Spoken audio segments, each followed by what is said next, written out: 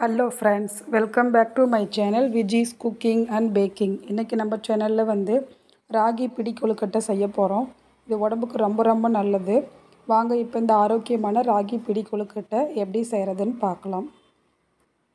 நான் வந்து இங்கே இந்த டம்ளரில் வந்து ஒரு டம்ளர் ராகி மாவு எடுத்து வச்சுருக்கேன். நீங்கள் டம்ளர் அல்லது கப்பு எதில் வேணாலும் எடுத்துக்கலாம். அதுலேயே மற்ற பொருட்களையும் அளந்து எடுத்துக்கோங்க. நான் ஒரு வானொலி வச்சுருக்கேன். அதில் ஒரு டீஸ்பூன் நெய் சேர்த்துக்கிறேன். நெய் சேர்த்துட்டு நம்ம எடுத்து வச்சுருக்க ஒரு டம்ளர் ராகி மாவை இதில் சேர்த்துட்டு லோ டு மீடியம் ஃப்ளேமில் ஒரு நாலுலேருந்து அஞ்சு நிமிஷம் வறுத்து எடுத்துக்கலாம். இந்த மாவு வந்து வாசம் வரும். அது வரைக்கும் வறுத்து எடுத்துக்கலாம். அப்போ நம்மளோட கொழுக்கட்டை வந்து இது மாதிரி வறுத்து செய்யும் பொழுது நல்ல வாசமாக இருக்கும். நான் வந்து மாவு வறுத்து எடுத்துட்டேன். அதுக்கப்புறம் பார்த்திங்கன்னா அந்த டம்ளர்லேயே வந்து அரை டம்ளர்லேருந்து ஒரு டம்ளர் அளவுக்கு நம்ம அவுல் எடுத்துக்கலாம். நான் வந்து ஒரு டம்ளர் எடுத்திருக்கேன். அதை வந்து ஒரு மிக்சியில் போட்டு ரவை அளவுக்கு பொடிச்சு வச்சுருக்கேன். இப்போ ஒரு மிக்சிங் பவுல் எடுத்துக்கலாம். அதில் நம்ம வந்து பொடி பண்ணி வச்சுருக்க அவல் சேர்த்துக்கலாம். அதுக்கப்புறமே அது கூட வந்து தண்ணி கொஞ்சம் கொஞ்சமாக விட்டுட்டு நம்ம புட்டு மாவு மாதிரி பிசைஞ்சு எடுத்துக்கணும். இந்த அவல் வந்து கொஞ்சம் சாஃப்ட் ஆகும். இது மாதிரி நம்ம பிசறி வைக்கும் பொழுது. பாருங்கள் இந்த மாதிரி ரெடி பண்ணி வச்சுக்கணும். வெள்ளை அவளுக்கு பதிலாக சிகப்பு அவளும் பயன்படுத்திக்கலாம். இந்த மாதிரி நல்லா உதிரி உதிரியாக நம்ம புட்டு செய்வோம்ல அந்த மாதிரி ரெடி பண்ணி வச்சுக்கணும் இதை. அதுக்கப்புறம் நம்ம ராகி மாவு எடுத்த அதே டம்ளரில் ஒரு டம்ளருக்கு வெல்லம் வந்து நல்லா பொடியாக நுணுக்கி வச்சுருக்கேன்.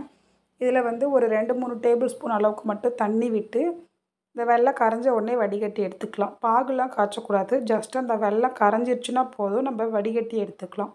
வெள்ளத்தில் வந்து தூசு மணல் இருக்கும். அதுக்காக தான் இப்படி செய்கிறோம் இப்போ வெள்ளம் வந்து கரைஞ்சிருச்சு நான் அதை வடிகட்டி எடுத்து வச்சுக்கிட்டேன். இப்போ பாருங்கள் நம்ம அவள் வந்து பொடி பண்ணி வச்சது நல்லா ஊறிடுச்சு ஒரு பத்து நிமிஷம். இது கூட நான் வந்து எள் சேர்த்துக்கிறேன் கருப்பு எள். வறுத்த எள். அதுக்கப்புறம் ஒரு முடி தேங்காய் வந்து துருவி வச்சுருக்கேன். அதையும் சேர்த்துக்கலாம்.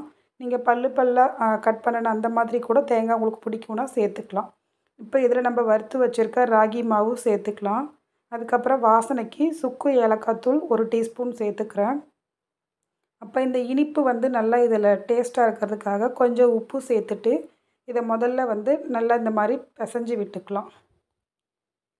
இந்த மாதிரி நல்லா பிசைஞ்சு விட்டுக்கணும்.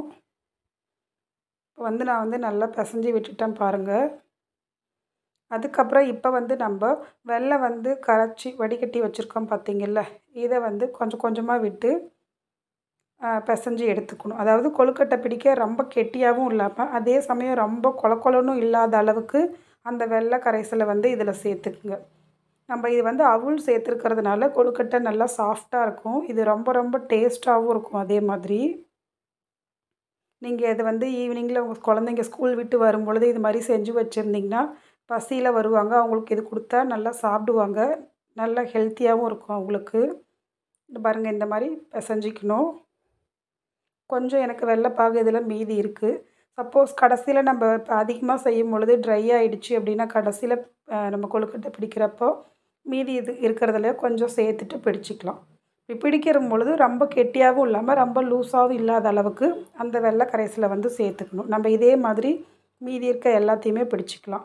அதே மாதிரி வெள்ளை வந்து நம்ம எல்லா மாவு எல்லாம் ரெடி பண்ணி முடிச்சுட்டு கடைசியாக தான் வெள்ளத்தை வந்து நம்ம ஃபில்ட்ரு பண்ணி எடுத்துக்கணும். சூ கரைச்சி. ஏன்னா அது ஆறிடுச்சுன்னா கெட்டி ஆகிடும் அதனால் எல்லாம் ரெடி பண்ணி வச்சுக்கிட்டு வெள்ளை கரைசலில் கடைசியாக அதில் சூடாகவே ஊற்றிட்டு இது மாதிரி கொழுக்கட்டை பிடிச்சி வச்சுக்கணும். இப்போ வந்து இட்லி பாத்திரத்தில் தண்ணி கொதிச்சிக்கிட்டு இருக்கு. நம்ம இந்த கொ கொழுக்கட்டை பிடிச்சி வச்சுருக்க தட்டை உள்ளே வச்சு மீடியம் ஃப்ளேமில் ஒரு பத்துலேருந்து பன்னெண்டு நிமிஷம் வேக வச்சு எடுத்துக்கலாம். நம்ம இந்த மாவுக்கு வந்து ஒரு பன்னெண்டுலேருந்து பதினஞ்சு கொழுக்கட்டை கிட்ட வரும். எனக்கு வந்து பதினொன்று வந்திருக்கு பாருங்கள் நான் இது மாவு பிசைஞ்சிட்டு கொழுக்கட்டை பிடிச்சிட்டு இருக்கக்குள்ளேயே என்னோடய பொண்ணுங்க வந்து ரெண்டு மூணு அப்படியே எடுத்து சாப்பிட்டாங்க. அந்தளவுக்கு டேஸ்ட்டாக இருக்கும். உடம்புக்கு ரொம்ப நல்லது. இந்த ஆரோக்கியமான ராகி பிடி கொழுக்கட்டையை நீங்களும் செஞ்சு பாருங்கள் என்னுடைய சேனலை பார்க்குறவங்க மறக்காமல் லைக் பண்ணுங்கள் ஷேர் பண்ணுங்கள் கமெண்ட் பண்ணுங்கள் சப்ஸ்கிரைப் பண்ணுங்கள் கூடவே பக்கத்தில் இருக்க பெல் ஐக்கானையும் கிளிக் பண்ணி வச்சுக்கோங்க. நல்லா ஆரோக்கியமாக சாப்பிடுங்க. ஹெல்த்தியாக இருங்க. தேங்க்யூ